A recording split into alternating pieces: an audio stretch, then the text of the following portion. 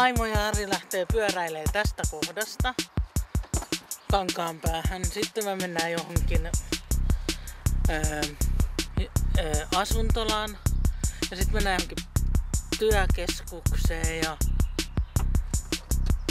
mm, sitten mennään kaupungita.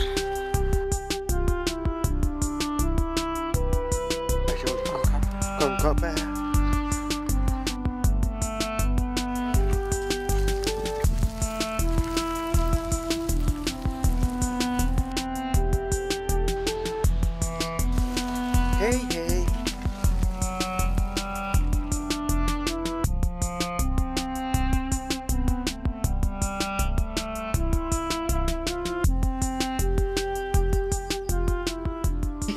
On tämmönen, missä miss mä olen aika paljon. Mä oon siellä johtoryhmässä. Sitten täällä on kaikki sun tiedopaketti. Ole No hyvä. niin, kiitoksia. Kiitos. Siellä on DVD. No niin, joo, eli tämä sitten. Osallisuuden jäljellä ollaan tehty semmoisia. Siellä on eri pätkiä. Niin. Tämä on 15 paikkanen ja tällä hetkellä täällä on 13 asukasta. Et yksi huone on periaatteessa sitten tilapäisessä käytössä. Tässä on kolme eri ryhmäkotia ja jokaisessa ryhmäkodissa on niin kuin viisi asuntoa. Ja tämä on ryhmäkoti yksi. Ja jokaisessa on sitten myös tämmöinen oleskelutila joo. ja yhteinen keittiö. Oho. Ruoka meillä tulee valmiina lohikopalvelutalolta. Mm-hmm. Eli tulee silloin lounas on lämpimänä ja päivällinen kylmän, että se lämmitetään. Tää on aika hieno. Me kotona.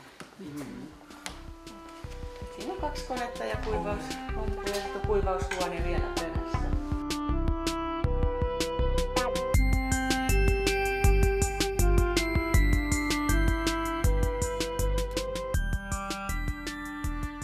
Tää vastaa just näistä kasvavan kotisivujen puolesta, että aina kun sinne tulee joltain yhdistyksiltä näitä päivityksiä tai kasvavan puolelta omia noita päivityksiä, niin mä hoidan yleensä ne sitten kasvavan kotisivulle. Tai muuten mä oon niin enemmän ATK-tukihenkilönä täällä Kasavalla. Noin 25 jäsenyhdistystä ja tässä on diabetes, hengitys, näkövammaiset, öö, mitäs niitä on, sydän, kehitysvammaisten tuki ja tällaiset.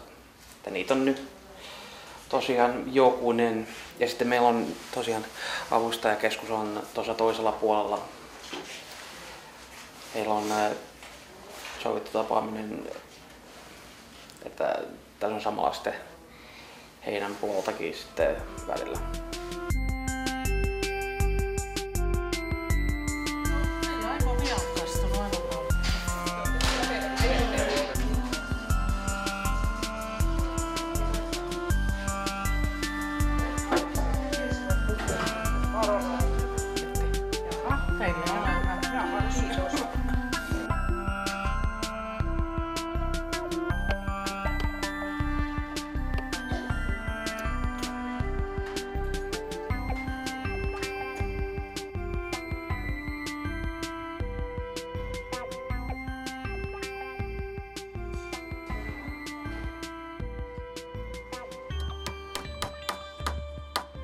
Luomme teille rohkeutta ja myötätuulta, jotta voisimme yhdessä tehdä viisaampia päätöksiä.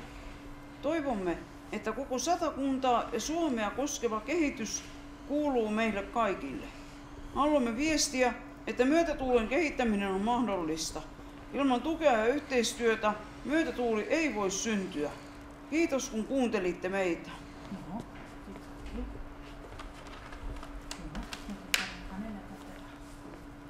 Ah, Ole hyvä. kiitoksia. Ole hyvä. Ole hyvä. Kiitoksia. Ole hyvä. Ole hyvä. Joo. Hienosti meni. Ja kiitos. Hyvä. Kuulimme tämän teidän viestinne ja, ja se oli ihan oikealta väestöryhmältä tämä viesti, koska te olette aina niin myötämielisiä ja sellaisia hyvän tuulisia. Olen saanut monta kertaa olla eri yhteyksissä, varsinkin kun olin kirkkoherrana tuolla Pohjanmaalla Jurvassa, niin siellä työkeskuksessa vierailimme säännöllisesti ja siellä oli aina hyvä, hyvä tunnelma ja samoin varmasti täälläkin on lumisuolla ja siellä missä kukin teistä päivittäin olette ja, ja tällä tavalla pidätte hyvää mieltä yllä ja tuotte sitten meille päättäjillekin näitä terveisiä, että teitä ei unohdettaisi ja ei varmasti unohdetakaan, sillä kaikkein, kaikista on pidettävä huolta siitä huolimatta, minkälainen on kunkin elämän osa. Ja sitä varten myöskin Suomen hallitus työskentelee, että saataisiin tätä hyvinvointia jatkumaan. Meillä on tämä koko Suomi velkaantunut, on yli 100 miljardia euroa velkaa. Ja jos tällainen kehitys jatkuisi, niin silloin ei enää voitaisi pitää hyvinvointivaltiosta huolta. Ja sen vuoksi on jouduttu jotain tämmöisiä ikäviä säästötoimenpiteitäkin tekemään koko valtakunnassa ja ne sitten heijastuvat tänne kuntatasollekin, mutta nyt ne säästötoimenpiteet on tältä kaudelta saatu aikaiseksi ja nyt on saatu aikaan tällainen kehitys, että talouskasvu on lähtenyt liikkeelle, työttömien määrä on vähentymässä ja tällä tavalla sitten nämä yhteiskunnan saamat varat riittävät huolenpitoon kaikista. Ja tässä mielessä tämä teidän myötätuulen viestinne on aivan oikein, kun meidän valtiomme Suomi itsenäisenä on ollut nyt tämän sadan vuoden ajan ja vietämme tätä satavuotisjuhlaa. Ja todella siinä mielessä, että kaikista pidetään huolta. Ja on hienoa, että te olette lähteneet liikkeelle näin suurella joukolla. Ja satakunta on aivan ainutlaatuinen maakunta siinä mielessä, että todella käytte jokaisessa kunnassa näistä etukäteistiedoista. Sain sen verran selville, että teitä on vain 17 paikkakunnalla näitä yhdistyksiä, jotka tätä myötätuulen viestiä olette viemässä ja että Pohjanmaalla on sitten ne seuraavat paikkakunnat, mutta sielläkään ei käydä jokaisessa pitäjässä. Eli täällä satakunnassa ollaan tässäkin mielessä edelläkävijöitä ja siinä mielessä kiitämme tästä teidän viestistänne ja viemme tätä myötätuulta toivottavasti myöskin täällä kaupungissa eteenpäin. Meillä on todella menty siinäkin mielessä otettu tämmöisiä edistysaskeleita, kun meillä on täällä ensimmäistä päivää työssä tällainen markkinointi- ja kehittämispäällikkö, tiedotuspäällikkö, ja hänkin on täällä nyt sitten mukana ja viemässä tätä hyvää tuulta täällä kankaan päässä kaikkien tietoon ja tietoisuuteen. Kiitoksia tästä viestistä ja kaikkea hyvää teille eteenkin päin.